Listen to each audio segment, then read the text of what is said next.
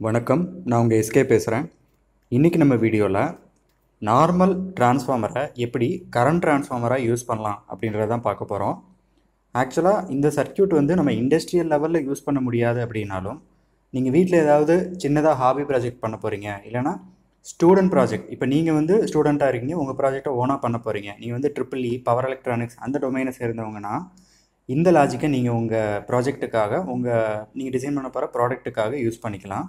இந்த சர்க்கியூட்டை நான் வந்து ஒரு அஞ்சு வருஷத்துக்கு முன்னாடியே ட்ரை பண்ணி எனக்கு ஒர்க் ஆகிருக்கு நான் ஒரு நாலஞ்சு ப்ராஜெக்டில் இதை இம்ப்ளிமெண்ட் பண்ணியிருக்கேன். ஸோ நம்ம வந்து இந்த இடத்துல இந்த சர்க்கியூட்டில் ஒரு நார்மல் டிரான்ஸ்ஃபார்மரை சிடிஐ யூஸ் பண்ண போகிறோம் நம்ம எடுத்துக்க போகிற டிரான்ஸ்ஃபார்மர் வந்து ஒரு ஸ்டெப் டவுன் டிரான்ஸ்ஃபார்மர் நார்மலான பவர் சப்ளையில் யூஸ் பண்ணக்கூடிய ஒரு ஸ்டெப் டவுன் டிரான்ஸ்ஃபார்மர் ஸோ இங்கே நான் ஸ்டெப் டவுன் டிரான்ஸ்ஃபார்மர் படம் தான் போட்டிருக்கேன். ஸ்டெப் டவுன் டிரான்ஸ்ஃபார்மரில் என்ன நடக்கும்? நம்ம வந்து ப்ரைமரியில் நம்ம வீட்டுக்கு வர ஒரு எக்ஸாம்பிளுக்கு சொல்கிறேன் டூ ஃபார்ட்டி வோல்ட் வருது அப்படின்னா டூ ஃபார்ட்டி வோல்ட் வந்து நம்ம ப்ரைமரி கொடுப்போம். செகண்டரியில் ஜீரோ டு டுவெல் வோல்ட்டாக கிடைக்கும். இது வந்து ஒரு zero to twelve volt step down transformer நீங்கள் வீட்டுக்கு கொடுக்குற வோல்டேஜ் கொடுத்தீங்கன்னா உங்களுக்கு அவுட்புட்டில் டுவெல் வோல்ட் ஏசி கிடைக்கும். ஓகே ஸோ இப்படி தான் ஸ்டெப் டவுன் ட்ரான்ஸ்ஃபார்மர் ஒர்க் ஆகும். நம்ம என்ன பண்ண போகிறோம்னா இந்த நார்மலான ஒரு ஸ்டெப் டவுன் ட்ரான்ஸ்ஃபார்மரை நான் வந்து ஒரு கரண்ட் ட்ரான்ஸ்ஃபார்மரை யூஸ் பண்ண போகிறேன் அதை யூஸ் பண்ணதுக்கப்புறம் அது என்ன அப்ளிகேஷனுக்கு யூஸ் பண்ணலாம் அப்படின்றத நான் சொல்கிறேன் ஓகே ஸோ இப்போ நான் என்ன பண்ண போகிறேன்னா அந்த நார்மலான ஒரு ஸ்டெப் டவுன் ட்ரான்ஸ்ஃபார்மரை அப்படியே திருப்பிட்டேன்.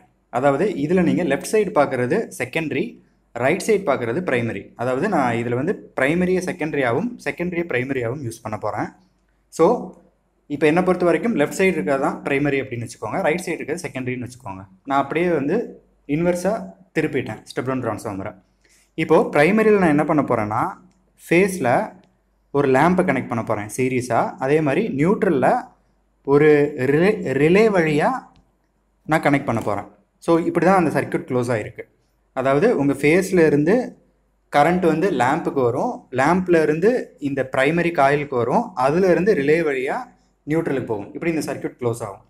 ஸோ நீங்கள் வந்து ஒரு ஸ்டெப் டவுன் ட்ரான்ஸ்ஃபார்மரை ரிவர்ஸாக திருப்பிட்டிங்கன்னா ஆட்டோமேட்டிக்காக அது என்ன ஆயிரும் ஸ்டெப் அப் ட்ரான்ஸ்ஃபார்மர் ஆயிரும். ஸ்டெப் அப் ட்ரான்ஸ்ஃபார்மருக்கும் ஸ்டெப் டவுன் ட்ரான்ஸ்ஃபார்மருக்கும் என்ன வித்தியாசம்? இப்போ வந்து ப்ரைமரி காயிலை விட செகண்டரி காயில் கம்மியாக இருந்துச்சுன்னா அது ஸ்டெப் டவுன் ப்ரைமரி காயிலை விட செகண்டரி காயில் அதிகமாக இருந்துச்சுன்னா ஸ்டெப் அப் இங்கே எப்படி இருக்குது ஸ்டெப் அப் மாதிரி தான் இருக்கா? அப்போ இது வந்து ஒரு ஸ்டெப் அப் ட்ரான்ஸ்ஃபார்மராக ஒர்க் ஆகும். அப்போது நீங்கள் இன்புட்டில் கொடுக்குறதே டூ தேர்ட்டி வோல்ட்டு இது ஆல்ரெடி ஒரு என்ன ட்ரான்ஸ்ஃபார்மராக ஒர்க் ஆகுதுன்னு சொன்னேன்? ஸ்டெப் அப் ட்ரான்ஸ்ஃபார்மராக ஒர்க் ஆகுதுன்னு. அதனால் பார்த்தீங்கன்னா வோல்டேஜ் லெவல் கண்ணா பின்னான்னு எகிரிடும் இதை குறைக்கிறதுக்காக நான் என்ன பண்ண போகிறேன்னா இந்த இடத்துல அப்படியே பேரலாக ஒரு ரெசிஸ்டர் கனெக்ட் பண்ண போகிறேன் இந்த ரெசிஸ்டருக்கு என்ன பேருனா பேர்டன் ரெசிஸ்டர் அதாவது எவ்வளோ வோல்டேஜ் வந்தாலும் அது தாங்கிக்கிறோம். அதனால அதுக்கு நேம் வந்து பேர்டன் ரெசிஸ்டர் இந்த பேர்டன் ரெசிஸ்டர் வந்து ரொம்ப அதிகமான ஓம்ஸ் வேல்யூ நீங்கள் எடுத்துக்கக்கூடாது கம்மியான வேல்யூவாக தான் எடுத்துக்கணும். ஒரு ஃபோர் செவன்ட்டி ஓமோ இல்லை ஒரு டூ செவன்ட்டி ஓமோ ஒரு டூ டுவெண்ட்டி ஓமோ எடுத்துக்கோங்க. பட் இந்த ரெசிஸ்டரோட வாட்டேஜ் லெவல் ரொம்ப ரொம்ப அதிகமாக இருக்கணும். ஓகே? ஸோ இப்போ பேரலாக அந்த ரெசிஸ்டர் நான் கனெக்ட் பண்ணிட்டேன்னா இதுக்கப்புறம் நீங்கள் மெஷர் பண்ணிங்கன்னா உங்கள் வோல்டேஜ் லெவல் ஆட்டோமேட்டிக்காக குறைஞ்சிரும். அதாவது நீங்கள் நார்மலாக ஒரு டயோடு கெப்பாசிட்டிக்கு எவ்வளோ கொடுப்பீங்களோ மேக்ஸிமம் அந்த வேல்யூக்கு இது மாறிடும். இது வந்து இது கொடுக்காம நீங்கள் கொடுத்தீங்கன்னா உங்கள் காம்பனன்ட்ஸ் போகிறதுக்கு நிறைய சான்ஸ் இருக்குது ஸோ இந்த பேர்டன் ரெசிஸ்டர் இந்த சர்க்கியூட்டுக்கு ரொம்ப ரொம்ப முக்கியம். அடுத்து நான் இந்த அவுட்புட்டை ஒரு பிரிட்ஜ் ரெக்டிஃபையரில் கனெக்ட் பண்ண போகிறேன் ஸோ பிரிட்ஜ் ரெக்டிஃபையர்னால் என்னென்னு உங்களுக்கு தெரிஞ்சிருக்கும் கண்டிப்பாக ஏசியை டிசியாக மாற்றி கொடுக்கும். ஸோ இதோட efficiency half wave full wave ரெக்டிஃபையரை விட அதிகம். ஸோ இந்த மாதிரி நான் கொடுக்குறேன். ஸோ இதோட அவுட்புட்டை ஒரு கெப்பாசிட்டரில் கொடுக்குறேன். இது வந்து அப்படியே அந்த பிரிட்ஜ் ரெக்டிஃபையர் சர்க்கியூட்டே தான். என்ன பண்ணுறேன் அப்படின்னா பிரிட்ஜ் ரெக்டிஃபையர்லேருந்து வர பல்சேட்டிங் டிசியை ஃபில்டர் பண்ணுறதுக்காக ஒரு கெப்பாசிட்டர் கனெக்ட் பண்ணுறேன் இப்போ எனக்கு ஃபில்டர்டு டிசி அவுட்புட்டில் கிடைக்கும். இதை நான் என்ன பண்ண போகிறேன்னா ஒரு பொட்டன்ஷியோ மீட்டருக்கு கொடுப்பேன். பொட்டன்ஷியோ மீட்டரில் அட்ஜஸ்ட் பண்ணி நான் அவுட்புட் எடுத்துக்குவேன்.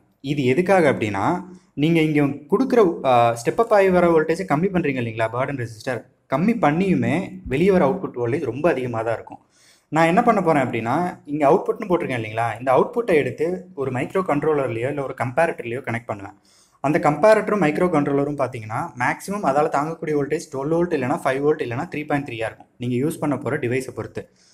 சப்போஸ் த்ரீ பாயிண்ட் த்ரீ தாங்கக்கூடிய மைக்ரோ கண்ட்ரோலரில் நீங்கள் ஃபைவ் வோல்ட்டோ டுவெல் வோல்ட்டோ போயிருச்சுன்னா அந்த கண்ட்ரோலர் அந்த சிஸ்டம் போகிறதுக்கு நிறைய சான்ஸ் இருக்குது ஸோ நான் என்ன பண்ணிக்குவேன் அப்படின்னா முன்னாடியே நான் ஒரு பல்பை கனெக்ட் பண்ணிவிட்டு இந்த பொட்டன்ஷியோ மீட்டர் மூலமாக நான் மேக்ஸிமம் அந்த மைக்ரோ கண்ட்ரோலர் இல்லைனா கம்பேரட்டர் எவ்வளோ தாங்குமோ அந்த அளவுக்கு அட்ஜஸ்ட் பண்ணிக்குவேன். ஸோ இந்த இடத்துல இப்போ ஃபார் எக்ஸாம்பிளுக்கு இந்த இடத்துல நான் வந்து மேக்ஸிமம் நான் கனெக்ட் பண்ண போகிற பல்ப் வந்து ஒரு தௌசண்ட் வாட்ஸ் பல்புன்னு வச்சுக்கோங்க. தௌசண்ட் வாட்ஸ் பல்பு கனெக்ட் பண்ணும்போது நான் இங்கே கண்ட்ரோலில் கொடுக்க போகிற வோல்டேஜ் இன்கேஸ் அந்த controller five volt micro controller இருந்துச்சுன்னா தௌசண்ட் வாட்ஸ் கொடுக்கும்போது இங்கே மேக்ஸிமம் ஃபைவ் வோல்ட்டை தாண்டாத மாதிரி நான் அந்த பொட்டன்ஷியோமீட்டரில் அட்ஜஸ்ட் பண்ணி வச்சுருவேன். அந்த ஃபைவ் வோல்ட் அந்த அவுட்புட்டை தான் நான் கண்ட்ரோலர் இல்லைன்னா கம்பேரட்டர் பின்னுக்கு கொடுப்பேன். ஸோ இன்கேஸ் நீங்கள் தௌசண்ட் வாட்ஸ் கனெக்ட் பண்ணாலும் அதிகமான வோல்டேஜ் உள்ளே போகிறதுக்கு சான்ஸ் இல்லை. இதுக்கு பேர் தான் கேலிப்ரேஷன் ஓகே ஸோ நான் கேலிபிரேஷன் பண்ணி இந்த சர்க்கியூட்டை ரெடியாக வச்சுருப்பேன். இப்போ இந்த அவுட்புட் இருக்குது இல்லைங்களா? இந்த அவுட்புட்டை நான் என்ன பண்ணுவேன் அப்படின்னா இன்கேஸ் நான் கண்ட்ரோலர் யூஸ் பண்ணாமல் கம்பேரட்டர் யூஸ் பண்ணேன்னா இந்த அவுட்புட் வந்து ஒரு கம்பேரட்டருக்கு போகும். இந்த கம்பேரட்டரில் ஒரு ரெஃபரன்ஸ் சிக்னல் வச்சுருப்பேன். ரெஃபரன்ஸ் வோல்டேஜ் வச்சுருப்பேன். இப்போ எக்ஸாம்பிளுக்கு நான் தௌசண்ட் வாட்ஸ் பல்பு நான் கனெக்ட் பண்ணும்போது எனக்கு இங்கே இந்த பொட்டன்ஷியோமீட்டரில் அவுட்புட் வந்து ஒரு த்ரீ பாயிண்ட் ஃபைவ் வோல்ட் கிடைக்கிது அப்படின்னு வச்சுக்கோங்களேன். இந்த ரெஃபரன்ஸ் சிக்னல் இருக்குது இல்லைங்களா கம்பேரட்டரில் அதை வந்து நான் த்ரீ பாயிண்ட் டூ அப்படின்னு வச்சுருந்தேன்னா ரெஃபரன்ஸ் சிக்னலை விட உங்கள் அவுட்புட்டில் கிடைக்கிற சிக்னல் அதிகமாக இருந்தோன்னா இந்த கம்பேரட்டரோட அவுட்புட் மாறிடும்.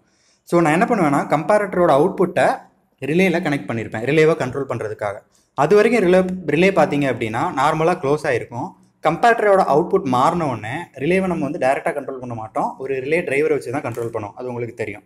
ஸோ ரிலே டிரைவருக்கு போகிற இன்புட் கம்பேரட்டர் மூலமாக மாறும்போது ஆட்டோமேட்டிக்காக ரிலே என்ன ஆயிரும்னா ட்ரிப் ஆயிரும். அப்போ என்ன ஆயிரும்னா உங்கள் லைன் வந்து ஆஃப் ஆயிரும். ஏன்னா ரிலே வந்து ஓப்பன் ஆயிடுச்சு அப்படின்னா ஃபேஸுக்கும் நியூட்ரலுக்கும் உள்ள கண்டினியூட்டி போயிடும் அப்போ உங்கள் லேம்ப் ஆட்டோமேட்டிக்காக ஆஃப் ஆயிரும். ஸோ வந்து இந்த சர்க்கியூட்டை நான் சொன்ன மாதிரி இண்டஸ்ட்ரியல் லெவலுக்கு நீங்கள் யூஸ் பண்ணல அப்படின்னாலும் இது கன்ஃபார்மாக ஒர்க் ஆகிற சர்க்கியூட் இதை நான் ட்ரை பண்ணி பார்த்துருக்கேன். ரெண்டு மூணு ப்ராஜெக்ட்டில் இம்ப்ளிமெண்ட்டும் பண்ணியிருக்கேன். ஸோ இப்போது இந்த சர்க்கியூட்டை யூஸ் பண்ணி நீங்கள் ஒரு இன்டெலிஜென்ட் சர்க்கியூட் பிரேக்கர் க்ரியேட் பண்ணலாம். ஏன்னா நார்மலான சர்க்கியூட் பிரேக்கரில் உங்களால் வந்து வோல்டேஜை வந்து செட் பண்ண முடியாது. பட் இதில் பாசிபிள் நான் யூஸ் பண்ண சர்க்கியூட்டில் கம்பேரட்டருக்கு பதிலாக இந்த அவுட்புட்னு போட்டிருக்கேன் இல்லைங்களா? இந்த அவுட்புட்டுன்ற பின்ன டேரெக்டாக கண்ட்ரோலரோட ஏடிசி கொடுத்துட்டேன். ஸோ இன்னுமே ரெசல்யூஷன் அதிகம். என்னால் மில்லி வோல்ட் வேரியேஷனை கூட கண்ட்ரோல் பண்ண முடியும். ஸோ நீங்களும் இந்த சர்க்கியூட்டை ட்ரை பண்ணி பார்க்கலாம். பட் ஒரு விஷயம் ரொம்ப முக்கியமாக கவனிக்கணும். நீங்கள் இதில் லெஃப்ட் சைடு பார்க்குறது எல்லாமே ஏசி லைன்லேருந்து நீங்கள் கண்ட்ரோல் பண்ண போகிறீங்க ஸோ ஏசி லைன் அப்படின்றப்போ ரொம்ப கவனமாக ஒர்க் பண்ணணும்.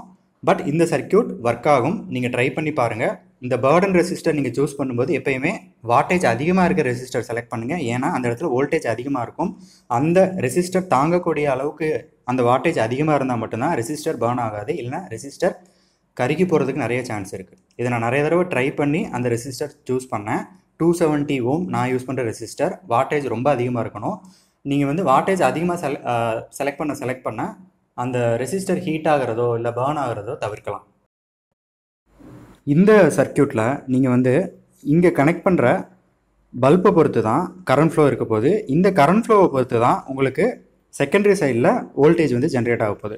ஸோ நான் இங்கே எக்ஸாம்பிளுக்கு சொன்னது தௌசண்ட் வாட்ஸ் பல்பு ஸோ நீங்கள் தௌசண்ட் வாட்ஸ் பல்ப் போடலாம் ஹண்ட்ரட் வாட்ஸ் போடலாம் இல்லை அதுக்கு இடைப்பட்ட எத்தனை வாட்ஸ் வேணாலும் போடலாம் பட் வோல்டேஜ் மட்டும் மாறிக்கிட்டே இருக்கும். நான் சொன்ன தௌசண்ட் வாட்ஸ் அப்படின்றது மேக்ஸிமம் லெவல் நீங்கள் வந்து மேக்ஸிமம் லெவல் எவ்வளோ செட் பண்ணுறீங்களோ அந்த லெவலை தாண்டும் போது தான் இந்த ரிலே ட்ரிப் ஆகும். அந்த மாதிரி தான் நீங்கள் வந்து இங்கே சர்க்கியூட் போட போகிறீங்க அதனால தான் வந்து நான் இதை வந்து ப்ரோக்ராமபிள் சர்க்கியூட் பிரேக்கர் அப்படின்னு சொன்னேன்.